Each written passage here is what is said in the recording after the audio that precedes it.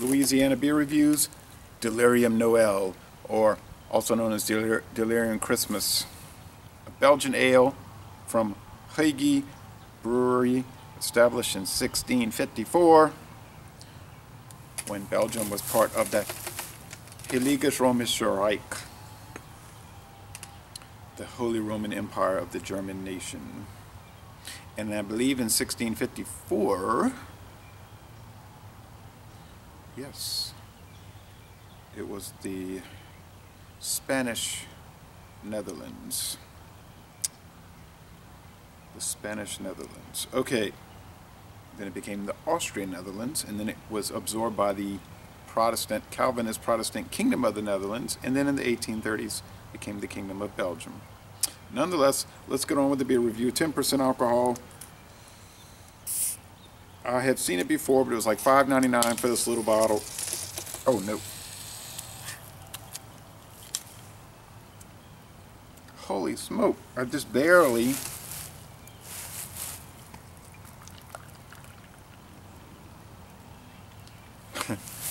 well, just wasted about a dollar. I barely tapped it and it started to blow. Um, I saw it for three dollars on a closeout. They were trying to get rid of their Christmas beers. At um, look at that, pitiful, huh? At, the Red, White, and Brew in Hammond. I don't like to go there because they're very expensive, but they they have some stuff sometimes that I can't find. And occasionally they'll have sales like that. Usually you pay a lot more, or a relatively good amount more. Uh, cream colored head. It's not too dark. It's red, rust red, bubbly. There's some sediment roiling about. Be careful though, because it could blow on you. Um,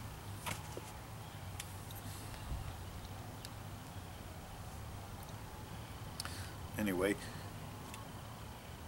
Beer Advocate was saying it was very good, a B plus. The Beer and Me was saying that B plus, very fine. They call it. But this fly is attracted by that. Um, the bros said it was just plain good, B.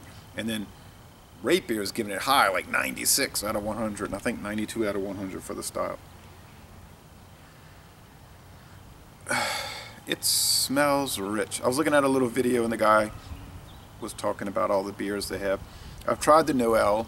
I mean, I've tried the uh, the Delirium Tremens. I've tried the Delirium Nocturnum. Now the Noel, and I would like to try the Red. And there's a whole other bunch of beers, brands that that company makes. This is really a nice smelling beer.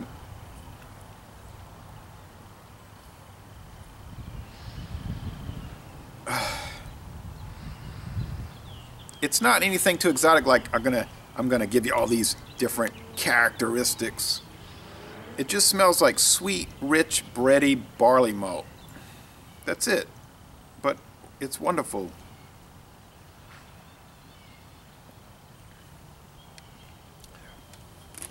Flavor. Same thing. This this beer is so bread oriented. Think of spice bread, some subtle, subtle fruit flavors, a little candy sugar, the mildest little hop bitterness to balance it out. A little yeastiness. Um, the mouthfeel is light to medium, more or almost directly in between a light mouthfeel and a medium mouthfeel. 10%, I'm kind of picking that up a little bit. It's shining through the alcohol. Now, I did this Maple Mistress from Pennsylvania, and they're talking about 9.5%. Look, it didn't taste like it and I drank the whole thing pretty fast and I didn't feel it at all. Now, if I drink a 12 ounce bottle of 9.5% beer, I should feel it. Nothing.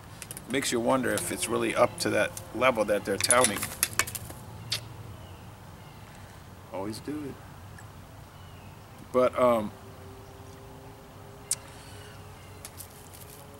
I guess they could mask the alcohol. I don't know how they could mask the fact that you don't feel it. Like the lobotomy Bock. I mean, um, excuse me, I can't touch anything with my left hand, which is covered. Now I'm spilling it. Well, I'm having a fiasco here. Just throwing money away. I'd rather drink it away than throw it away. Spilled another ounce onto the grass. Well, it's not your problem, is it? All right. Um, and it all started with that little blow up. I don't know if this is worth $5.99 a bottle, though. I mean, that seems a little steep, but it's coming from Belgium.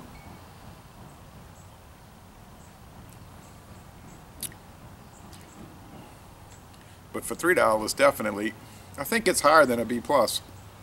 Wow, the alcohol's really coming out. Not to mention the carbonation. Um, it's getting a little warmer out here. Out here.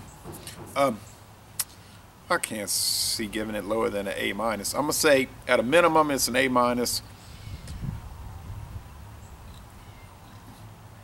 Just don't spill it. Um, A minus beer. It's an excellent beer. I could probably be very easily talked into going up to an A, but at this point, and when I go write the review, it might jump up to an A. But I'm gonna say A minus, excellent beer.